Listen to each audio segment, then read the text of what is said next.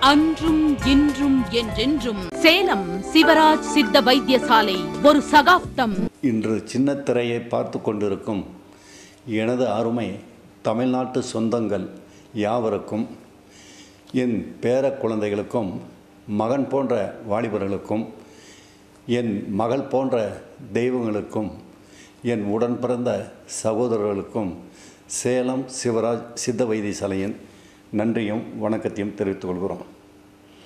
இது வந்து உங்களுக்கு ஒரு பெரிய படிப்பினை அமையக்கூடிய அளவுக்கு இருக்கும் அப்படிங்கிறதுனால தான் இந்த நிகழ்ச்சியை வந்து நான் இதில் பேசி வரேன். அதனால் இந்த சின்னத்திரையை பார்க்குறவங்க தயவுசெய்து கொஞ்ச நேரம் இந்த நிகழ்ச்சியை பார்த்தீங்கன்னா ஒரு படிப்பினை அமையக்கூடிய அளவுக்கு இருக்கும். சேலம் சிவராய் தாத்தா சொல்கிற விஷயம் ஒரு படிப்பினை அமையக்கூடிய அளவுக்கு இருக்கும் அப்படிங்கிறத தெரிவிச்சுக்கிறேன். இன்றைக்கி தமிழ்நாட்டில் பார்த்தீங்கன்னாக்க செக்ஸுக்கு வந்து சரியான விழிப்புணர்வு தமிழ்நாட்டில் இல்லை. காரணம் வந்து இன்றைக்கி எப்படி எப்படியோ போயிட்டுருக்கிற இந்த காலகட்டத்தில் எங்கிட்ட சிகிச்சைக்காக தமிழ்நாட்டில் கன்னியாகுமரி கடற்கரையிலேருந்து மெட்ராஸ் மட்டும் உலக நாடுகள்ல இருந்தும் வந்துட்டுருக்கிற நமது சொந்தங்கள் மகள் போன்ற பெண்களும் அவருடைய கணவன்மார்களும் வந்து என்கிட்ட முறையிட்டு சொல்லும்போது பார்த்தோம்னாக்க பல ஒரு ஆள் மட் ஒருத்தர் மட்டுமல்ல நிறைய பேர் வந்து சிகிச்சைக்கு சொல்ல வராங்க. சொல்ல வரும்போது பார்த்தீங்கன்னாக்கா அவங்களுடைய விஷயங்கள் என்னன்னாக்க தாத்தா குழந்தை பாக்கியத்துக்காக நான் மாற்று மருத்துவத்தில் போய் சிகிச்சை பண்ணோம். மூணு லட்ச ரூபா நாலு லட்ச ரூபா செலவு பண்ணி பண்ணுறோம் ஆனால் குழந்தை பாக்கியம் எங்களுக்கு கிடைக்க மாட்டேங்குது. பணம் செ செலவு செஞ்சு தான் வீணாகி போச்சு. அப்படின்னு மனசு நொந்து வேதனைப்பட்டு வருத்தப்பட்டு மாட்டு மருத்துவத்தில் போய் செஞ்சு ஏமாந்து போய் ஏமாந்து போய் அவங்களாம் வந்து சொல்கிற விஷயங்களை தான் நான் இந்த நிகழ்ச்சியில் சொல்கிறேனே ஒழிய என்னுடைய மனம் போக்கு போக்கில் எந்த மருத்துவத்தையும் நான் குறை சொல்லி இந்த நேரத்தில் பேசலை அப்படிங்கிறத உங்களுக்கு தெரிவிச்சுக்கிறேன். ஏன்னா குழந்த பாக்கியம் இல்லை அப்படிங்கிறத பார்த்தீங்கன்னாக்க பதினெட்டு சித்தர்களும் ஞானிகளும் ஆதி காலத்திலேயே எத்தனையோ நூறாயிரம் ஆண்டுகளுக்கு முன்னாடி தமிழ்நாட்டில் நம்ம தமிழ்நாட்டு சொந்தங்களுடைய வாழ்க்கையெல்லாம் வீணாக போகுது அப்படின்னு தெரிஞ்சு தெரிஞ்சு தான் அவங்க வந்து இந்த மூலிகை ரகசியங்களை சொல்லி வச்சுருக்காங்க. இந்த மூலிகை ரகசியங்கள் எப்படி அப்படின்னாக்க குழந்தை பாக்கியம் உண்டாகக்கூடிய அளவுக்கு தகுதி பண்ணணும் அப்படிங்கும்போது இன்றைக்கி தமிழ்நாட்டில் வந்து இ- இருக்கிற காலகட்டத்தில் பார்த்தீங்கன்னாக்க நிறைய நமது பேரப்பசங்களும் மகன் போன்ற வாலிபர்களும் தன்னுடைய ஆன்ம சக்தியை இழந்து இல்லறம்பத்துக்கே ஈடுபடுறதுக்கு தகுதி இல்லாத மாதிரி இன்றைக்கி எல்லாமே வந்து இருக்காங்க. அது எப்படி வந்துக்கிட்டு இருக்கிறாங்க அப்படின்னாக்க குணப்படுத்தவே முடியாது இனிமேல் வாழ்க்கையே இல்லை இனிமேல் அவங்க வாழவே முடியாது அப்படிங்கிற அளவுக்கு மனிதனாக வாழக்கூடிய அளவுக்கு தகுதியை இழந்து அவங்க ஆண் உறுப்பு பார்த்தீங்கன்னாக்கா ரெண்டு ரங்கலத்துக்குள்ளே சிறுத்து போய் அந்த காய் பகுதிக்குள்ளே ஓடி போய் ஒண்டிக்கக்கூடிய அளவுக்கு இருக்கும். அந்த மாதிரி இருக்கிற நமது பேர பசங்க இருபத்தேழு வயசுலேருந்து இருபத்தொம்பதுக்குள்ளே பார்த்தீங்கன்னா திருமணம் பண்ணக்கூடிய ஸ்டேஜில் இருக்கிற நமது மகன் போன்ற வாலிபர்கள் திருமணத்துக்கு தகுதி இல்லாமல் அவங்க விந்த பூரா அடித்து முடிச்சிடலாம். ஆண்டவன் என்ன சொல்கிறான் பதிமூணு வயசில் விந்த உற்பத்தி பண்ணி இருபத்தஞ்சி வயசில் சேர்த்து வச்சுக்கிட்டீங்கனாக்க உனக்கு வந்து இருபத்தஞ்சி வயசுல சேர்த்து வச்சுக்கிட்ட விந்து வந்து முப்பத்தஞ்சு வயசு நாற்பத்தஞ்சு வயசு ஐம்பத்தஞ்சு வயசு நீ அந்திம உயிரோடு இருக்கிற வரலும் செலவு செஞ்சுக்கிட்டு நீயும் மனைவியும் அற்புதமாக நல்ல முறையில் வாழக்கூடிய அளவுக்கு கொடுத்துருக்கிற விந்தை என் மகன் போன்ற வாலிபர்கள் இருபத்தஞ்சி வயசுக்குள்ளேயே அழித்து முடிச்சிடுறாங்க. அப்போ அப்பா அம்மாட்ட சொல்ல முடியாமல் தான் திருமணம் பண்ணுறாங்க அப்பா அம்மாட்ட சொல்லாமல் திருமணம் பண்ணும்போது அவங்களுக்கு விந்து கட்டுப்பாடு இல்லை அதில் கர்ப்பணுக்கள் இல்லை இல்லறம்பத்துக்கு ஈடுபடக்கூடிய அளவுக்கு தகுதி இல்லை. அவன் மனைவிகிட்ட ஒரு முறை இல்லறம்பத்தில் ஈடுபட்டாலே உடனே விந்து கசிஞ்சு வெளியாகக்கூடிய ஸ்டேஜில் தான் இன்றைக்கி திருமணத்திலேயே மனவரையில் கால் வச்சு கல்யாணம் பண்ணுறாங்க அது என் மகள் போன்ற பெண்கள் என்ன பாவம் செஞ்சாங்களோ தெரியல. அந்த மாதிரி பேர பசங்களை கல்யாணம் பண்ணிக்கிட்டு வாழ்க்கை வீணாகக்கூடிய ஸ்டேஜுக்கு வந்துகிட்டு இருக்கிறாங்கிறது தான் இது விழிப்புணர்வு ஏற்படுங்கிறதுக்கு தான் இதில் சொல்கிறேன் இந்த மாதிரி விந்து நஷ்டத்தை பண்ணிவிட்டு அப்பா அம்மாட்ட சொல்ல முடியாமல் திருமணம் பண்ணி பாதிக்கப்படுற என் மகன் போன்ற வாலிபர்கள் தான் குழந்தை பாக்கியம் இல்லை குழந்தை பாக்கியம் இல்லை அப்படிங்கிறதுக்காக இன்றைக்கி அதிகமாக வருத்தப்படக்கூடிய ஸ்டேஜில் இருக்காங்க. இந்த குழந்தை பாக்கியம் அப்படிங்கிறது பார்த்தீங்கன்னாக்க தமிழ்நாட்டில் பிறந்து வளர்ந்த என் மகன் போன்ற வாலிபர்களுக்கும் சரி என் மகள் போன்ற தெய்வங்களுக்கும் ஆண்டவன் வந்து பேர் சொல்ல பிள்ளைய கொடுத்துருக்கான். ஆண்டவன் பேர் சொல்ல பிள்ளைய கொடுத்துருக்கான். இவங்க வந்து விவரம் தெரியாமல் விந்தை நஷ்டப்படுத்தி அதில் அணுக்களெல்லாம் குறைச்சி எதுக்குமே தகுதி இல்லாத ஸ்டேஜில் தான் திருமணம் பண்ணி வராங்க. இந்த ஸ்டேஜ் எதுக்கு சொல்ல வரேன் அப்படின்னாக்க நல்லா கவனமாக இந்த நிகழ்ச்சி கேட்கணும். யார் மனதையும் புண்படுத்தக்கூடிய அளவுக்கு நான் இந்த நிகழ்ச்சியில் சொல்லலை. இன்றைக்கி தமிழ்நாட்டிலுடைய கலாச்சாரம் பார்த்திங்கனாக்கா என்கிட்ட வருத்தப்பட்டு அழுதுகிட்டு சிரமப்பட்டு சொல்லிக்கிட்டு இருக்கிற குழந்த பாக்கியத்துக்கு போய் ஏமாந்து போய் வந்தவங்க சொல்கிற நிகழ்ச்சியை மட்டும்தான் இதில் சொல்கிறேனே ஒழிய இதில் மாற்று கருத்துக்கள் என்னுடைய கருத்துக்கள் எதுவுமே கிடையாது. அவங்களுக்கு ஒரு விழிப்புணர்வு ஏற்படுறதுக்காக தான் இந்த நிகழ்ச்சியை சொல்கிறேன் என்ன காரணம் அப்படின்னாக்கா இன்றைக்கி யோஜனை பண்ணி பாருங்கள் வேறு ஒருத்தர் விந்தில் இருக்கிற கர்ப்பணுக்களை எடுத்து வச்சு அதில் ஒரு குழந்தை பிறக்கணும் அப்படின்னாக்கா தமிழ்நாட்டினுடைய கலாச்சாரம் என்ன? தமிழ்நாட்டில் பெண்களை கையெடுத்து கும்பிடக்கூடிய நாடு உலக நாடுகளை எந்த நாட்டிலையுமே கிடையாது. நம்ம தமிழ்நாட்டில் மட்டும்தான் பெண்களை வந்து கையெடுத்து கும்பிடக்கூடிய நாடு. பெண்கள் இப்படி தான் இருக்கணும். பெண்கள் இந்த முறையில் தான் இருக்கணும். பெண்களுக்குன்னு ஒரு விதிமுறை பெண்களுக்குன்னு ஒரு கட்டுப்பாடு. இந்த காலத்தில் இல்லை. எத்தனையோ ஆயிரம் ஆண்டுகளுக்கு முன்னாடி இருந்து தமிழ்நாட்டில் வளர்ந்து வந்திருக்குது. அதே மாதிரி இன்னும் எத்தனை எத்தனை ஆண்டுகள் போனாலும் இந்த நடைமுறை தமிழ்நாட்டில் இருக்கும். அந்த கலாச்சாரத்தை தமிழ்நாட்டில் பிறந்து தமிழ்நாட்டில் வளர்ந்து தமிழ்நாட்டில் வாழ்ந்துக்கிட்டு இருக்கிற என் மகள் போன்ற பெண்களும் அவருடைய கணவன்மார்களும் எப்படி அம்மா உங்களுக்கு மனசு வந்தது? தாயி உங்களுக்கு எப்படி தாயி மனசு வந்துச்சு இந்த கலாச்சாரத்தை மாற்றுறதுக்கு வேற ஒருத்தர் கர்ப்பணுக்களுக்கு இருந்து தான் எடுத்து வைக்கணும்னா மருத்துவம் படிச்சுட்டு வந்து இந்த முறையை செய்கிறாங்களே அவங்களும் நம்ம தமிழ்நாட்டில் நம்ம சொந்தம் தான் அத்தனை பேரும் சொந்தம் தான் நமக்கு ஜாதி மதமே வேண்டாம். ஜாதி மதமே வேண்டாம். அத்தனை பேரும் உடன்பிறப்புகள் தான் அப்படி இருக்கும்போது தாயே என் தங்கம் ஆ, புடம் போட்ட தங்கம் எப்படா தாயி உனக்கு மனசு வந்துச்சு? ஆ, எப்படா தாயி வேற ஒருத்தர் கர்ப்பணுக்களை சுமக்கக்கூடிய அளவுக்கு கேவலமாக போயிட்டோம். தமிழ்நாட்டில் கேவலமாக போயிட்டோம். உங்களுக்கு எப்படி சொல்கிறதுன்னு எனக்கு தெரியல. இந்த கலாச்சாரத்தை மாற்றாதீங்க கண்ணு மாற்றாதீங்க இந்த கலாச்சாரத்தை மாற்றாதீங்க ஏன்னா உன்னுடைய உடம்புல உன்னுடைய உடம்புல இருந்து கணவன் உடம்புல இருந்தும் தான் விந்து உற்பத்தி ஆகி அதில் கற்பனைகள் வரணும். இது ஏன் விளக்கம் இவ்வளோ விளக்கம் சொல்கிறேன் அப்படின்னாக்கா இதில் முக்கியமான நிகழ்ச்சி நீங்கள் கவனிக்கணும். இன்றைக்கி இங்கே நிறையா சிகிச்சைக்கு வராங்க. சிகிச்சைக்கு வரும்போது ஒரு விஷயத்தை மட்டும் நான் முன்னாடி சொல்கிறேன் நல்லா கவனமாக கேட்டுங்க. ஏன்னா ரெண்டுக்கும் வித்தியாசம் தெரிஞ்சால் தான் என் மகள் போன்ற பெண்களும் அவன் கணவன்மார்களும் திருந்துவாங்கங்கிறதுக்காக தான் நான் விளக்கத்தை சொல்கிறேன் இப்போ ஒரு கணவனுக்கும் மனைவிக்கும் சித்த வைத்திய மூலிகளை வந்து ஏன்னா இது மெயினாக சொல்லணும் எப்படின்னாக்க தமிழ்நாட்டில் சித்த வைத்திய மருந்தில் பதினெட்டு சித்தர்களும் ஞானிகளும் என்ன சொல்லி வச்சுருக்காங்க அப்படின்னாக்க மூலிகைகளை சொல்லி வச்சுருக்காங்க. குழந்தை பாக்கியம் உண்டாகிறதுக்கும் இல்லன்பத்தில் ஈடுபடக்கூடிய அளவுக்கு நல்ல முறையில் வர்றதுக்கும் மூலிகை ரகசியங்களை ஆண்டவன் சொல்லி வச்சுருக்கான். அதில் வந்து எப்படி சொல்லி வச்சுருக்கான்? விந்து கட்டுப்பாடு பண்ணி அவனுடைய உடம்புல கர்ப்பணுக்களை உற்பத்தி பண்ணி அவனுக்கு இல்லன்பத்தில் ஈடுபடக்கூடிய அளவுக்கு தகுதி பண்ணி ஒரு முறை இல்லன்பத்தில் ஈடுபட்டால் கூட மகள் போன்ற தெய்வங்கள் போது மாமா போது மாமா முடியல மாமா சிரமமாக இருக்கு மாமா விற்று மாமா அப்படின்னு சொல்கிற அளவுக்கு இல்லன்பத்தில் ஈடுபடக்கூடிய அளவுக்கு கொடுத்துருக்குறான் ஆண்டவன். தமிழ் வைத்தியத்தில் வந்து பேர் சொல்ல பிள்ளைய பண்ண முடியாது அப்படிங்கிற மாதிரி இருந்தால் தமிழ் வைத்தியத்தில் குழந்த பாக்கியத்துக்கு மருந்தே இல்லை அப்படின்னு சொன்னால் நீங்கள் மாற்று மருத்துவத்தில் போய் செய்யலாம். அதை நானும் வரவேற்கிறேன். தமிழ் வைத்தியத்தில் சித்த வைத்தியத்தில் மூலிகையே இல்லை அப்படின்னா தான் நீங்கள் மாற்று மருத்துவத்தில் போய் செய்யணும். ஏண்டா தங்கம்? என்னை பெத்த தங்கம்? அம்மாடி என்னை பெத்த தங்கம் நீ தாண்டி என்னை பெத்த தங்கம்? ஏன் இந்த தப்பை செய்கிற நீ? ஏண்டா கண்ணு இந்த தப்பு செய்கிற எழுபத்தி ஆறு வயசில் தாத்தா இருக்கிற காலம் இன்னும் கொஞ்சம் காலம் கூட கிடையாது. அந்த காலகட்டத்திலேருந்து தாத்தா சொல்கிறேன் கேட்க மாட்டீங்களாடா கண்ணு? கேளுங்கடா கண்ணு உங்களுக்கு தானே தாத்தா இவ்வளவு சொல்கிறேன் தமிழ்நாட்டில் எந்த சித்த வைத்தியராவது இது சொல்கிறான் நான் யோசனை பண்ணிப்பார் எவனுமே சொல்ல மாட்டான்டா கண்ணு. அதனால் இந்த தப்பை செய்யாதீங்க. என்ன காரணம் அப்படின்னாக்கா இப்போ உ- உனக்கும் கணவனுக்கும் சித்த வைத்திய மூலிகை மருந்தில் விந்து உற்பத்தி பண்ணி அதில் இல்லன்பத்துக்கு ஈடுபடக்கூடிய அளவுக்கு தகுதி பண்ணி உன் கணவனை கொடுக்குறேன். நீங்கள் ரெண்டு பேரும் இல்லன்பத்தில் ஈடுபட்டு திருப்தி அடைஞ்சு அதில் வந்து குழந்தை பாக்கியம் உண்டாயிடுதுன்னு வச்சுங்க.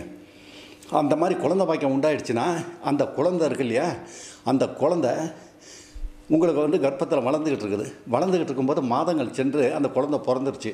அப்போ அந்த குழந்தை பிறந்த உடனே நீங்கள் என்ன பண்ணுவீங்க? யோசனை பண்ணி பாரு. குழந்தை பிறந்த அப்பா அம்மாக்கெல்லாம் தகவல் தெரியும். ஹாஸ்பிட்டலில் வந்து குழந்தைய பார்க்க போகிறாங்க பார்க்க வரும்போது பெண்ணை பெத்த தாய் தகப்பனார் ரெண்டு பேரும் வந்த உடனே அந்த குழந்தைய பார்த்து என்ன சொல்லுவாங்க? ஐயோ கடவுளே என் மகள் மாதிரியே இருக்கிறாளே. ஆ? அவன் மூக்கும் முடியும் பாரு என்னுடைய மக மாதிரியே தானே இருக்கிறான் அப்படின்னு உன்னை பெத்த தாய் தகப்பனார் கொஞ்சம் மகிழுவாங்க. இல்லையா? எப்போ கொஞ்சம் மகிழுவாங்க? உன் கணவன் வந்து உங்கள்கிட்ட இல்லன்பத்தில் ஈடுபட்டு அந்த இல்லன்பத்தில் உற்பத்தி ஆகி அதில் கர்ப்பணுக்களை சுமந்துக்கிட்டு அதில் பிறந்த குழந்தை வந்து அந்த மாதிரி வர்ணிப்பாங்க. ஏன்னா கணவன் விருந்திலிருந்து கர்ப்பணுக்கள் வந்து அதில் பிறக்கிற குழந்தைய உன் அப்பா அம்மாவும் வர்ணிப்பாங்க. அதே மாதிரி பையனை பெற்ற தாய் தகப்பனா ரெண்டு பேரும் என்ன பண்ணுவாங்க? சொல்லுங்கள் பையனை பெற்ற தாய் தகப்பனா ரெண்டு பேரும். அந்த குழந்தைய பார்ப்பாங்க இல்லையா? அந்த குழந்தைய பார்த்தோன்னே அப்படியே கடவுளே வாட்ட சாட்டமாக என் பையன் மாதிரியே இருக்கிறான் பார். அவன் கண்ணை பாரு என் பையனை பார்த்தா வித்தியாசம் இருக்காது. அந்த அளவுக்கு இருக்கிறான். அவனுடைய கலர் பாரு என்ன செக்க செவந்த கலரில் இருக்கானோ அதே மாதிரி தான் இருக்கிறான். என் பையனே சின்ன பையனில் பார்க்குற மாதிரி இருக்கு அப்படின்னு சொல்லிட்டு ஆச்சரியப்படுவாங்க. எப்போ? உன் பையனுடைய விந்திலிருந்து கர்ப்பண்கள் உற்பத்தி ஆகி அதில் பிறந்த குழந்தைய பெண்ணை பெற்ற தாய் தப்பினாரும் பையனை பெற்ற தாய் தப்பினாரும் அந்த குழந்தைய பார்த்துட்டு ஐயோ இப்படி இருக்கே அப்படி இருக்கேன்னு சந்தோஷப்பட்டு மகிழ்வாங்க. இது உலகத்தில் கிடைக்கக்கூடிய பெரிய பாக்கியம். அந்த மாதிரி இருக்கும்போது வேற ஒருத்தர் விந்திலிருந்து ஒரு குழந்தை பிறக்குதுன்னு வச்சுங்க. ஒருத்தருக்கு புருஷன் பொட்டாட்டிய ரெண்டு பேர்த்துக்கும் வேற ஒருத்தர் விந்திலிருந்து கர்ப்பணுக்களை எடுத்து வச்சு மாற்று மருத்துவத்தில் போய் செஞ்சு அதில் ஒரு குழந்தை பிறக்குதுன்னு வச்சுங்க. அப்போ அந்த ஆஸ்பத்திரியில் பிறந்த குழந்தைய நீங்கள் போய் பார்க்கும்போது உங்கள் மனசுக்குள்ளே என்ன தோணும்? மனசுக்குள்ளே என்ன தோணும்? முன்ன சொன்ன மாதிரி அப்பா அம்மா- பெண்ணை பெற்ற தாய் தகப்பனார் வர்ணிப்பாங்களா? இல்லை பையனை பெற்ற தாய் தகப்பனார் வர்ணிப்பாங்களா? அந்த குழந்தைய பார்த்தோன்னே ரெண்டு பேருமே மௌனமாக இருப்பாங்க. ஏன்னா மாற்று மருத்துவத்திலிருந்து எடுத்து வச்ச குழந்தை அது யார் மாதிரி இருக்கும்? படித்த மேதாவி மாதிரி இருக்குமா? படிக்காதவன் மாதிரி இருக்குமா? கை நாட்டு போடுறவன் மாதிரி இருக்குமா? திருடனா மொல்ல மாதிரியா? முடிச்சவிக்கா கொலகாரனா? யாருடைய விந்திலிருந்து வந்த கற்பனுக்கள் அது? மேதாவி என்னுடைய இதிலிருந்து வந்ததா? இந்த மாதிரி அந்த கற்பணுக்களை எடுத்து வச்சு அந்த குழந்தை பிறக்குதுன்னு வச்சுங்க. அப்போ அந்த குழந்தைய எப்படி வர்ணிப்பேங்க? ஐயோ கொலகார மாதிரியே இருக்கிறான இந்த குழந்தை. அஹ்? கொலகார மாதிரியே இருக்கிறான இந்த பையன். இல்லை அதி மேதாவி மாதிரியே இருக்கிறான இந்த பையன். யார் மாதிரி இருக்குதுன்னு வர்ணிப்பீங்க கண்ணு? கண்ணு யோஜனை பண்ணு கண்ணு. தமிழ்நாட்டில் பிறந்து வளர்ந்தவங்க அத்தனை பேரும் யோஜனை பண்ணுங்க. சேலம் சிவராஜ் தாத்தா எழுபத்தாறு வயசை தாண்டி போகிறவன் இருக்கிற காலகட்டங்களில் கொஞ்சம் காலகட்டம் தான் இது வந்து நம்ம தமிழ்நாட்டு கலாச்சாரத்தை மாற்றக்கூடாதுங்கிறதுக்காக இதை சொல்கிறேன் அந்த குழந்தைய யார் மாதிரி வர்ணிப்பீங்க? முன்ன சொன்ன மாதிரி இவங்க பேரை சொல்லி அடே திருட மாதிரி இருக்கிறான்டா. டே கொலகார மாதிரி இருக்கான்டா. ஆ, கொள்ளடிக்கிற மாதிரி இருக்கான்டா. இல்லை படித்த மேதாவி மாதிரி இருக்காண்டான்னு சொல்ல முடியுமா? சொல்ல முடியாது. அந்த கலாச்சாரம் தமிழ்நாட்டில் நமக்கு வேண்டாம். தமிழ்நாட்டில் அந்த கலாச்சாரம் வேண்டாம். சித்த வைத்திய மூலிகை மருந்தில் பண்ண முடியும். பண்ணி கொடுக்க முடியாதுன்னா சேலம் சிவராஜ் தாத்தாவை வந்து ஏண்டா தாத்தா இப்படி சொல்கிற ஏண்டா தாத்தா எங்கள் வாழ்க்கையை வீண் பண்ணுற ஏண்டா தாத்தா இப்படி பண்ணிக்கிட்டு இருக்கிற? அப்படின்னு சொல்லி கேளுங்க. நான் அந்த சித்த வைத்திய தொழில் செய்கிறத நிறுத்திட்டு போயிடுறேன். புரியுதா உங்களுக்கு? இந்த சித்த வைத்தியத்தை பண்ண முடியும் அப்படின்னு தான் இந்த எழுபத்தாறு வயசை தாண்டி போயிட்டு நான். அழுதுகிட்டு சிரமப்பட்டு சண்டை போட்டு திட்டி கெஞ்சி காலில் விழுந்து செஞ்சாத குறையாக கேட்டுக்கிட்டு இருக்கேன். திருந்த மாட்டேங்கிறீங்க. இப்போ இதுலேயும் நீங்கள் திருந்தலைன்னு வச்சுங்க. இன்னொரு விஷயத்தை நான் சொல்கிறேன் இப்போ அந்த குழந்தை வந்து உங்களுக்கு பிறந்த குழந்த இருக்கு இல்லையா? உன் பையன் ரெண்டு பேத்துக்கும் பிறந்த குழந்தை. அதுக்கு நாலு வயசாகி போச்சு. நாலு வயசானவுடனே அந்த குழந்தைய என்ன பண்ணுறீங்க வீட்டில் நீயும் மனைவியும் உட்காந்துக்கிட்டு அந்த குழந்தைய நடக்குது அப்படியே நட விடுறீங்க. நடந்து போகும்போது திடீர்னு போய் ஒரு இடத்துல உழுகுது. உளுந்த உடனே நீ என்ன பண்ணுவீங்க? திடு திடுன்னு எந்திரிச்சு ஓடி போய் அந்த குழந்தைய அப்படியே நெஞ்சோடு நெஞ்சு அணைச்சி. எங்கே? நெஞ்சோடு நெஞ்சு அணைச்சி அந்த குழந்தைய அட கண்ணு அடிபட்டுச்சாடா காயமாயிடுச்சாடா கண்ணு ரத்த வருதாடா கண்ணு ஆ? ஐயோ ஏன்டா கண்ணு அழுவாதரா சாமி அழுவாதரா சாமி அழுவாதரா சாமி நெஞ்சோடு நெஞ்சு கட்டி பிடிச்சிட்டு கொஞ்சி ஆ? அதுக்கு ஆறுதல் சொல்லிக்கிட்டு இருப்பீங்க இல்லையா? எப்படி அது? உன் கணவனுடைய ரத்தத்திலிருந்து ஊறி விந்து கட்டுப்பாடு வந்து விந்து கட்டுப்பாட்டில் கர்ப்பணுக்கள் வந்து அந்த கர்ப்பணுக்களில் பிறந்த குழந்தைய தான் அந்த மாதிரி கட்டி அணைச்சி நெஞ்சோட நெஞ்சு அணைச்சி சொல்லுவாங்க. அதை தான் பெரியவங்க என்ன சொல்லியிருக்காங்க? தான் ஆடலனாலும் தன் சதையாடும் அப்படிங்கிறத வந்து உன்னுடைய கணவன் ரத்தத்திலிருந்து ஊறி கர்ப்பன்கள் வந்து அதில் பிறந்த குழந்தைய தான் அந்த மாதிரி சொல்லுவாங்க. அதே சமயத்தில் வேற ஒருத்தர் விந்திலிருந்து பிறந்த குழந்தை. கற்பணுக்களை எடுத்து வச்சு பிறந்த குழந்தை. நான் சொன்ன மாதிரி முடிச்சவிக்கா மொல்ல மாதிரியா திருடனா படித்தவனா க- கொலைகாரனா கொள்ளக்காரனா யாருன்னு தெரியாது. அவனுடைய விந்திலிருந்து எடுத்து வச்ச கற்பணுக்களை உங்களுக்கு பிறந்த குழந்தை நீயும் மனைவியும் திண்ணையில் உட்காந்துட்டு இருக்கீங்க. அதே மாதிரி அந்த குழந்தை எந்திரிச்சு ஓடுது. ஓடி கீழே விழுகுது நீங்கள் ரெண்டு பேரும் என்ன பண்ணுவீங்க? மனசாட்சியை தொட்டு சொல்லுடு கண்ணு. கண்ணு தங்கம் மனசாட்சியை தொட்டு சொல்லு. அந்த குழந்தைய என்ன பண்ணுவீங்க? விழுந்துருச்சுனா டே டே எந்திரிச்சு வாடா. ஏன்டா பைத்தியகாரத்தனமாக போய் விழுவுற நான் தான் தலையால் அடிச்சுக்கிட்டேன். ஓடாத ஓடாதன்னு சொல்லி. இங்கே வா பக்கத்தில் வா பார்க்கலாம். காயம் ஆகி போச்சா என்னென்னு பார்க்கலாம் வா. அப்படின்னு தான் கூப்பிடுவீங்க. இது வந்து எப்படின்னாக்க வேறு ஒருத்தர் விந்திலிருந்து பிறந்த குழந்தைய நீங்கள் சொல்லும்போது இந்த மாதிரி தான் சொல்லுவீங்க. இந்த கலாச்சாரம் தமிழ்நாட்டில் ஏற்றுக்கணுமா கேட்குறவங்களை புரியுதா இல்லையா? நீங்களாம் என்ன நினச்சிட்டு இருக்கீங்க நீங்கள் இவ்வளோ கஷ்டப்பட்டு வேதனைப்பட்டு இந்த எழுபத்தாறு வயசில் சொல்லணுமா தாத்தா? சொல்ல வேண்டிய அவசியம் இல்லை. நான் பாட்டுக்கு வீட்டில் முடங்கி கிடக்கலாம். ஏன் இந்த மாதிரி சொல்லிக்கிட்டு இருக்கிறேன் நான்? திருந்துக திருந்துக தமிழ்நாட்டு கலாச்சாரத்தை மாற்றாதீங்க தமிழ்நாட்டு கலாச்சாரத்தை மாற்றிங்க ஒவ்வொருத்தருமே பிறந்து வளர்ந்தவங்க தமிழ்நாட்டில் பிறந்து வளர்ந்தேன் அப்படின்னா தமிழ்நாட்டு கலாச்சாரத்தை ஏதோ ஒரு காரணத்தில் மாற்றவே கூடாது. உயிர் போனாலும் மாற்றக்கூடாது நம்ம. கலாச்சாரத்தை மாற்றலாமா ஏன்டி அம்மாடி உன்னை தாட்டா கேட்குறேன் தாத்தா தான் கேட்குறேன் சொல்லு பதில் சொல்லு எனக்கு. இந்த கலாச்சாரத்தை எப்படி மனசு வந்து மாற்றுறீங்க வெக்கமாக இல்லை வேதனையாக இல்லை வருத்தமாக இல்லை? கலாச்சாரத்தை மாற்றுறீங்க அப்படி ஒரு சுமக்க சுமக்கணுமா? அந்த மாதிரி ஒரு குழந்தை பிறக்கணுமா? அந்த மாதிரி குழந்தை எடுத்து வளர்த்தணுமா? ஏண்டா கண்ணு ஏண்டா கண்ணு இந்த தப்பை செய்கிறீங்க ஆ? நம்மளும் மனுஷர் தானே நமக்கு சூடு சொரணம் எல்லாமே இருக்குல்ல. அப்படி இருக்கும்போது வேற ஒருத்தர் என்ன கலாச்சாரம் என்ன கலாச்சாரம் இது இப்போ ரெண்டு கலாச்சாரத்தை நான் சொன்னேன் இல்லையா? இப்படி ஒன்று செய்யுங்க அப்படி ஒன்று செஞ்சீங்கன்னா இந்த மாதிரி ஆகும்னு சொல்லி சொல்லிட்டேன்ல. இப்போ இதே ஒரு இன்னொரு நிகழ்ச்சி உங்களுக்கு புரிகிற மாதிரி சொல்கிறேன் இதே கேரளாவிலேருந்து ரெண்டு புருஷன் பொண்டாட்டிங்க எங்கிட்ட சிகிச்சைக்கு வராங்க. ரெண்டு பேரும் சிகிச்சைக்கு வந்து உட்காந்துக்கிட்டு இருக்கும்போது தாத்தா தாத்தா குழந்தை பாக்கியத்துக்காக மருந்து வாங்குறதுக்காக வந்திருக்கோம். எங்களுக்கு வந்து குழந்தை பாக்கியத்தை பற்றி விளக்கம் சொல்லுங்கள் அப்படின்னா. அப்போ சொல்லும்போது அந்த பொண்ணு என்ன சொன்னால் தாத்தா ஒரு நிமிஷம் எந்திரிச்சு என்னை பாருங்கள் அப்படின்னா. கண்ணு சொல்லு கண்ணு. உட்காந்துட்டு தான் இருக்கேன் பார்க்குறேன் அப்படின்னேன் இல்லை தாத்தா எந்திரிச்சு என் முதுகை பாருங்கள் தாத்தா நான். எந்திரிச்சு முதுகை பார்த்தா ஏழு எட்டு சிகரெட்டு சூடு அந்த இடத்துல வச்சுருக்கு. ஏழு எட்டு சிகரெட் சூடு வச்சுருக்கு. அதை பார்த்தோன்னே நான் என்ன பண்ணேன் அந்த பையன் வந்து தமிழ்நாட்டுக்கார பையன் தான் கேரளாவில் அரசாங்கத்தில் பெரிய அதிகாரியாக வேலை செஞ்சிட்ருக்கிற பையன். அவனை பார்த்துட்டு நான் என்ன சொன்னேன் ஏன்டா தம்பி என்னடா என்னடா பைத்தியக்காரத்தனமாக இருக்குது முட்டாள்தனமாக இருக்குது இவ்வளோ பெரிய அதிகாரி இது கேரளாவில் வேலை செய்கிறாங்கிற நீலாம் மனுஷனா மிருகமாடா. மனுஷனா மிருகமாக கேட்குறேன் எதுக்காக அந்த பிள்ளைக்கு சூடு வைக்கிற நீ? உன்னாலேயே முடியல இல்லறம்பத்தை ஈடுபட தகுதி இல்லை உங்கள்கிட்டயே விந்து கட்டுப்பாடு இல்லை உன்கிட்டயே கற்படுக்கள் இல்லை. அப்படி இருக்கும்போது எதுக்கடா பைத்தியக்காரத்தனமா முட்டாள்தனமா கேனத்தனமா கேனையனை விட கேனையனா இருக்கிற? எதுக்கு எடுத்து வைக்கிற? அப்படின்னு சொல்லி சொன்னான் அவன் தாத்தா நான் இந்த முறையில் எனக்கு குழந்தை பாக்கியம் இல்லைங்கிறதுக்காக தான் நான் சொல்கிறேன் இவன் கேட்க மாட்டேங்கிறான் அதனால தான் உங்கள்கிட்ட கூட்டிகிட்டு வந்திருக்கோம். நீங்கள் இதுக்கு சரியான விளக்கம் சொல்லணும் அப்படின்னா நான் விளக்கம் சொல்கிறேன் அதுக்கு முன்னாடி உன் மனைவி என்ன சொல்கிறாங்கிறது நீ முத கேள்றா அப்படின்னு. பெரிய வாக்குவாதமே நடந்தது எங்கள் ரெண்டு பேர்த்துக்கு அந்த பையனுக்கும் எனக்கும். அப்போ அந்த அவன் சொல்கிறான் அந்த பையன் சொல்கிறான் அவன் மனைவி பார்த்து நான் வேற ஒருத்தர் விந்தில் இருக்கிற கற்பனைகளை எடுத்து வைக்கலாம்னு மூணு வருஷத்துக்கு மேலே நம்ம குழந்தை பையன் கிடைக்கல அப்படிங்கிறதுனால தான் நான் சொன்னேன். வேற ஒருத்தர் விந்திலிருந்து எடுத்து வைக்கிறதுல உனக்கு என்ன குறை இருக்குதுன்னு சொன்னீங்கன்னா நீ சொல்கிற காரணங்கள் வந்து சரியான காரணமாக இருந்தால் நீ சொல்கிறத கேட்டு நடக்கிறேன். நீ சொல்கிற காரணம் சரியானது இல்லை அப்படின்னா நான் சொல்கிற மாதிரி மாற்று மருத்துவத்தில் தான் எடுத்து வைக்கணும். என்ன சொல்கிற நீ? அப்படி தாத்தா முன்னாடி சொல்லு. ரெண்டு பேரும் இது முடிவை எடுத்துக்கலாம் அப்படின்னு சொன்னோம் அப்போ நான் அந்த பொண்ணு சொல்கிறேன் தன்னுடைய கணவனை பார்த்து உனக்கு வந்து கேரளாவில் ரெண்டு மூணு நண்பர்கள் இருக்காங்க நெருங்கிய நண்பர்கள். அந்த நண்பர்களை ஒரு நண்பர்களை எனக்கு ஏற்பாடு பண்ணி கொடு. அந்த மாதிரி ஏற்பாடு பண்ணி கொடுத்துட்டீங்கன்னா அந்த நண்பரோடு நான் போய் வீட்டில் இருந்துக்கிறேன் அவனுடைய வீட்டில் அவனை வந்து தினசரி இல்லன்பத்தில் ஈடுபடு தினசரி இல்லன்பத்தில் ஈடுபடுன்னு அவனை ஈடுபட வைக்கிறேன். அதில் வந்து எனக்கு கர்ப்பம் உண்டாயிடுது. கர்ப்பம் உண்டாகி மாதங்கள் கடந்து போய் குழந்தை பிறந்துருச்சின்னு வச்சுக்க பையன். அந்த மாதிரி பிறந்த குழந்தைய நான் என்ன பண்ணுறேன் உன் நண்பன் வீட்டில் வீட்டிலேருந்து அந்த குழந்தைய எடுத்துக்கிட்டு நம்ம வீட்டுக்கு வரேன். வந்துட்டு மாமா மாமா இங்கே பாரு மாமா உனக்கு அழகான பையன் பிறந்திருக்கான் மாமா. மாமா மாமா உனக்கு அழகான பையன் பிறந்திருக்காமா ஆ? மாமா மாமா உன்னுடைய நண்பனுடைய விந்திலிருந்து கர்ப்பணுக்கள் ஊறி அதில் இல்லன்பத்தில் ஈடுபட்டு நான் சந்தோஷப்பட்டு அதில் வந்து உனக்கு பையன் பிறந்திருக்கான் மாமா.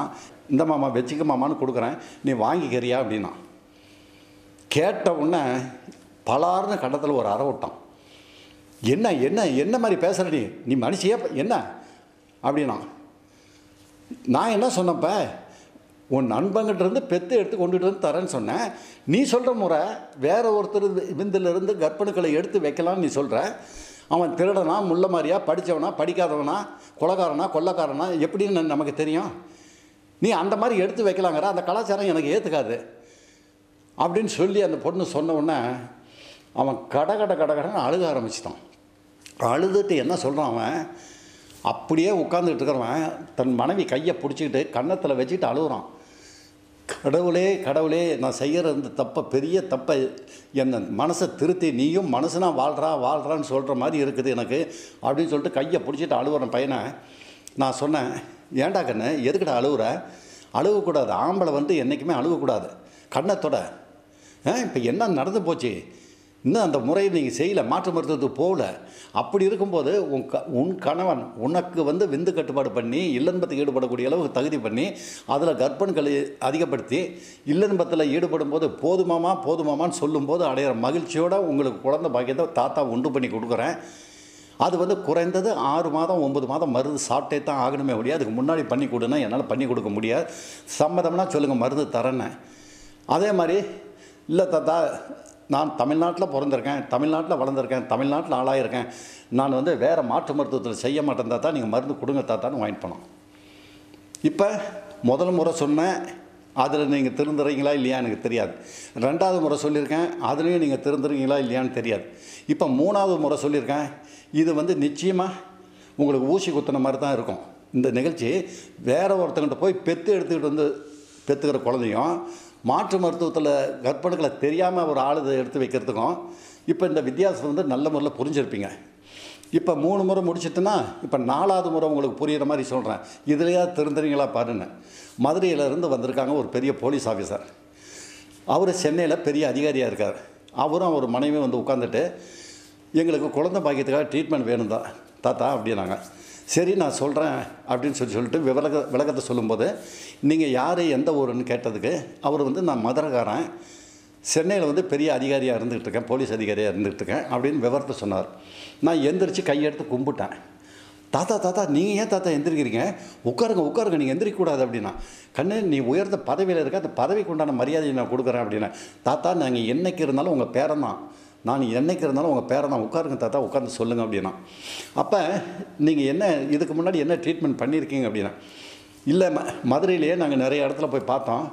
வேற ஒருத்தர் விந்தில் இருக்கிற கர்ப்பணுக்களை எடுத்து வச்சு குழந்தைய பேத்துக்கணும்னு சொல்லி சொல்கிறாங்க அந்த கலாச்சாரம் வந்து நம்ம தமிழ்நாட்டில் ஏற்றுக்காது தாத்தா என்னுடைய உடம்புல விந்து கட்டுப்பாடு குறைஞ்சதுனால தான் இந்த பாதிப்பு இருக்குதே ஒழிய அதை சரி பண்ணிக்கிட்டாங்க எனக்கு என்னுடைய விந்தில் இருந்ததே குழந்தை பிறந்துடும் ஆனால் இருந்தாலும் அந்த மாதிரி மாற்று மருத்துவத்தில் போய் நான் விந்தில் இருக்கிற கர்ப்பணுக்களை எடுத்து வச்சு குழந்தைய பெற்றுக்கணுன்னா தாத்தா நான் தமிழ்நாட்டில் பிறந்திருக்கேன் தமிழ்நாட்டில் வளர்ந்துருக்கேன். அதுவும் மதுரை மா மதுரையில் பிறந்து வளர்ந்தவன் நான். மதுரையில் பிறந்து வளர்ந்தவன் கண்ணகி வாழ்ந்த பூமி இது கண்ணகி வாழ்ந்த பூமி இது கண்ணகி வாழ்ந்த பூமி இது. இந்த பூமியில் நான் போய் வேறு ஒருத்தர் விந்தில் இருக்கிற கற்பனைகளை எடுத்து வச்சு தான் குழந்தைய பெற்றுக்கணும் அப்படின்னா மாட்டுக்கும் மனுஷனுக்கும் என்ன தாத்தா வித்தியாசம்? தாத்தா இத்தனை வயசாகி போச்சு இல்லை தாத்தா நீங்கள் சொல்லுங்களேன் எனக்கு விளக்கம். மாட்டுக்கும் மனுஷனுக்கும் வித்தியாசம் இருக்குமா? அந்த மாதிரி இருக்கிற நிகழ்ச்சி. ஒரு நிகழ்ச்சி. இப்போ இத்தனை நிகழ்ச்சி குழந்தை பாக்கியத்துக்கு சொல்லியிருக்கேனே என் தமிழ்நாட்டில் பிறந்த மகள் போன்ற தெய்வங்களும் அவங்க கணவன்மார்களும் இதை திருந்தவே மாட்டிங்களா? ஆ? சித்த வைத்திய மூலிகை மருந்தில் வந்து கர்ப்பணுக்களை உற்பத்தி பண்ண முடியும் விந்து கட்டுப்பாடு பண்ண முடியும் இல்லன்பத்தில் ஈடுபடக்கூடிய அளவுக்கு தகுதி பண்ண முடியும். நீ ஒரு முறை ஈடுபட்டாலும் மனைவி வந்து போதுமாமா போதுமாமா என்னால் முடியலமாமா சிரமமாக இருக்குமாமா சொல்கிற அளவுக்கு இதில் வந்து செய்ய முடியும். அந்த மாதிரி நீ மனைவிட்ட இல்லன்பத்தில் ஈடுபடும் போது ஒரு முறை இல்லன்பத்தில் ஈடுபடும் போதே பார்த்தீங்கன்னாக்க நீ அதிக நேரம் அந்த பெண்ணுக்கிட்ட உள்ள உடல் உறவு வச்சுக்கிட்டே இருப்ப. நீ அதிக நேரம் உடல் வச்சுக்கிட்டே இருப்ப. அந்த பெண்ணு சொல்லுவான் மாமா போதுமாமா வேண்டாம் மாமா இன்னொரு நாளைக்கு வச்சுக்கலாம் மாமா அப்படின்னு அவள் சொல்லுவாள் அந்த நேரத்தில் ஒன்று உடம்புல இருந்து அந்த ஆண் குறியிலேருந்து அந்த விந்து பீச்சி அடித்து அந்த பெண் உறுப்பில் ரெண்டு பக்கம் டியூப்களை போய் அந்த கர்ப்பப்பைக்குள்ளே போய் அடையும். எங்கே உன் ஆண்குறியிலிருந்து விந்து வெளியாகி கர்ப்பணுக்களை அப்படியே சுமந்துக்கிட்டு அப்படியே தங்கமாக அப்படி கர்ப்பணுக்களை சுமந்துக்கிட்டு அப்படியே பெண்ணூர் வழியாக டியூப் வழியாக போய் கர்ப்பப்பை அடையும் போது என் தமிழ்நாட்டில் உள்ள பெண்கள் அந்த நேரத்தில் அடையிற மகிழ்ச்சி பார்த்தீங்கன்னா அட்டா உலகத்தில் யாருமே அடைய முடியாதுடா. உலகத்தில் யாருமே அடைய முடியாது. நீ நாட்டை ஆண்டுகிட்டுருன்னு சொன்னால் கூட சரி. கோடி கோடியாக சொத்து கொடுத்தாலும் சரி. போதுமாமா போதுமாமா போதுமாமா போதுமாமானா அந்த பாக்கியம் யாரு கிடைக்கும்? அந்த மகன் போன்ற வாலிபர்கள். அவனுடைய கணவன்மாருக்கு என்ன மகிழ்ச்சி கொடுக்க தெரியுமா? என்ன மகிழ்ச்சி கொடுக்க தெரியுமா? மனைவி போதுமாமா போதுமாமான்னு சொல்லிட்டா அவன் வாழ்க்கையில் எந்த தொழிலை தொடுறானோ அந்த தொழிலெல்லாம் வெற்றி வெற்றி வெற்றி வெற்றி மேலே தான் கிடைக்கும். ஆனால் மனைவியை கோட்டை விட்டுட்டு இல்லன்பத்திலே ஈடுபட தகுதி இல்லாமல் போனோம் வந்தங்கிற மாதிரி இல்லன்பத்தில் ஈடுபட்டுட்டு வந்தானா? இன்றைக்கி தமிழ்நாட்டில் இன்றைக்கி ஆயிரக்கணக்கான குடும்பம் படித்து கோடி கோடியாக சம்பாரித்து வச்ச உன் குடும்பத்தில் கூட இது நடந்துக்கிட்டு இருக்குது. எப்படின்னா மனைவி கோட்டை விட்டுருவான். நான் சித்த வைத்திய மருந்தில் பண்ண மாட்டேன். சித்த வைத்திய மருந்து பிடிக்காது. அவங்களாம் ஒரு வைத்தியமா அப்படின்னு சொல்லிட்டு ஆங்கில மருத்துவத்தை தேடி போவான். ஆங்கில மருத்துவத்தை போய் என்ன பண்ணுவோம் தெரியுமா? கோடி கோடியாக சொத்து இருக்கும். கோட்டு சுட்டு போட்டுக்கிட்டு ததக்கு புதக்குன்னு பேசுவான் இங்கிலீஷு. இவனுங்களாம் யார்? இந்த மாதிரி ஆளுங்களாம் யார்? கிராமத்தில் கோவணம் கட்டிக்கிட்டு அவங்க அப்பா நீஸ் தண்ணி குடிச்சிக்கிட்டு வளர்த்தி ஆளாக்கி விட்டவங்க தான் இன்றைக்கி சென்னை மாகாணத்தில் பெரிய பெரிய ஆளுங்களாக இருந்துக்கிட்டு ஓஹோ நான்லாம் ஆங்கில மருத்துவத்தில் தான் பண்ணுவேன். சித்த வைத்தியத்தில் பண்ண மாட்டேன் அப்படிமா புரியுதா உங்களுக்கு? கிராமத்துலேருந்து வளர்ந்து போனோம் அந்த மாதிரி சொல்லும்போது ஆங்கில மருத்துவத்தை தான் செய்வாங்க போது ரெண்டே ரெண்டு முக்கியமான விஷயம். ஒன்று அந்த மருத்துவத்தில் போய் செக்ஸாலஜி மருத்துவத்தை போய் பணத்தை பூரா கோட்டை விட்டுருவான் ஒன்று ஏன்னா படித்த மேதாவியாச்சே படித்த மேதாவி அவங்க என்ன சொல்கிறாங்களோ பல்லை இழிச்சிக்கிட்டு பணத்தை விட்டுருவான். அடுத்தது பார்த்தீங்கன்னா இல்லைன்னு தகுதி இல்லாமல் மனைவியை கோட்டை விட்டுருவான். அந்த மாதிரி மனைவியை கோட்டை விட்டுறவங்க தான் இன்றைக்கி தமிழ்நாட்டில் பார்த்தீங்கன்னா அதிகபட்சமான பேர் வாழ்ந்துட்டு இருக்காங்க. ஒருத்தர் ரெண்டு பேர் இல்லை இன்றைக்கி அதிகபட்சமாக வாழ்ந்துட்டு இருக்கிறவங்க அத்தனை பேருமே இதே நிலைமையில் தான் வாழ்ந்துட்டு இருக்காங்க. ஒன்று மாற்று மருத்துவத்தில் போய் நான் படித்தவன் மேதாவி அப்படின்னு சொல்லிட்டு பணத்தை செலவு பண்ணி கோட்டை விடுறான். இன்னொன்று மனைவி திருப்திப்படுத்த முடியாமல் கோட்டை விடுறவன் இன்றைக்கி தமிழ்நாட்டில் பார்த்தீங்கன்னா அதிகபட்சமாக வாழ்ந்துட்டுருக்காங்க இது நான் வணங்கும் ஆஞ்சநேயர் சத்தியமாக சொல்கிறேன் எதுக்காக சொல்கிறேன் அப்படின்னா அவ்வளோ பேர் மனசு வெந்து போய் வேதனைப்பட்டு அந்த மருத்துவத்தில் முடியலங்கும் போது சேலம் சிவராஜ் தாத்தா தேடி வராங்க இல்லையா? அதனால் இந்த நிகழ்ச்சி நான் சொல்கிறேன் இன்றைக்கி என் மகள் போன்ற தெய்வங்களுக்கு நீ தமிழ்நாட்டில் பிறந்த பொண்ணாக இருந்தாலும் சரி தமிழ்நாட்டில் பிறந்த பொண்ணு நீ. தமிழ்நாட்டில் பிறந்து தமிழ்நாட்டில் வளர்ந்துருக்க. நல்ல முறையில் கேட்டுக்க. கற்புக்கரசி கண்ணகி வாழ்ந்த பூமி இது. கற்புக்கரசி இதுக்கு மேலே என்னால் விளக்கம் சொல்ல முடியாது. தாத்தானால இதுக்கு மேலே விளக்கமே சொல்ல முடியாது. கற்பு கண் கற்புக்கரசி கண்ணகி வாழ்ந்த நாடு இது. இந்த நாட்டில் வேற ஒருத்தர் விந்தில் இருக்கிற கற்பணக்களை எடுத்து வச்சு தான் நீ பிறந்த பெருக்கணும்னா நீ மனசியாக வாழணுமா? மனசியாக வாழணுமான்னு கேட்குறேன் தாத்தா. ஏன் புரிய மாட்டேங்குது உங்களுக்கு? குழந்தையே இல்லை இல்லைன்னா சித்த வைத்தியத்தில் பண்ண முடியலை அப்படின்னா நீங்கள் செய்யலாம்.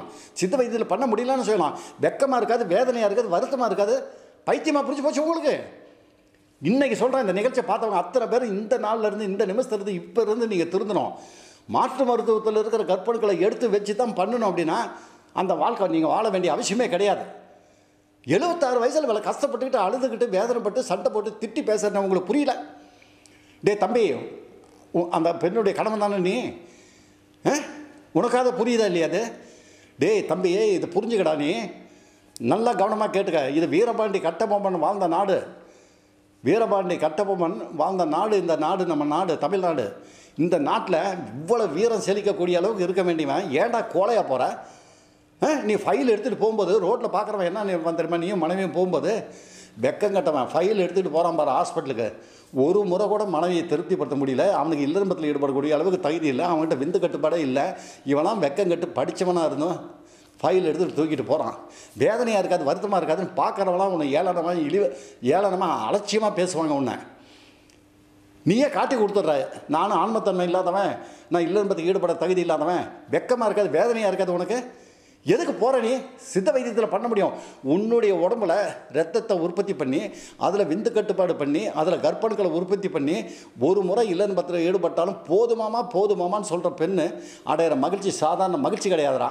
அப்போ அந்த பெண்ணு என்ன சொல்லுவா தெரியுமா? போதுமாமா போதுமாமான்னு சொல்கிற மனைவி நீ ஏதோ ஒரு காரணத்தில் சண்டை போட்டு வீட்டை விட்டு போன்னு சொல்லிட்டீங்கன்னா கூட அந்த மனைவி தங்கமான என் பத்திரமாத்த தங்கம் என்ன சொல்லும் தெரியுமா? எனக்கு என் மாமன் தான் வேணும் எனக்கு என் மாமன் தான் வேணும் என் மாமன் தான் வேணும்னு உன்னை சுற்றி சுற்றி சுற்றி சுற்றி சுற்றி சுற்றி வட்டடிப்பா. அந்த மாதிரி இல்லம்பத்தில் ஈடுபட்டு பிறக்கிற குழந்தை தாண்டா உன்னுடைய குழந்தை. உன் பேரை சொல்லும். என் அப்பன் பேர் இதுதான் அப்படின்னு சொல்லுவோம் அதுதான் நம்ம தமிழ்நாட்டில் பிறந்து வளர்ந்த என் மகள் போன்ற தெய்வங்களுக்கும் அவங்க கணவன்மாருக்கும் நான் சொல்கிறேன் வீரபாண்டி கட்டபொம்மை பிறந்த ஊரில் வீரம் செழிக்கக்கூடிய அளவுனா ஒவ்வொருத்தரும் இருக்கணும் அப்படிங்கிறத இந்த நேரத்தில் சொல்லிக்கிட்டு மீண்டும் சேலம் சிவராஜ் சிதவை சாலை நன்றியும் வணக்கத்தையும் தெரிவித்துக் கொள்கிறோம்.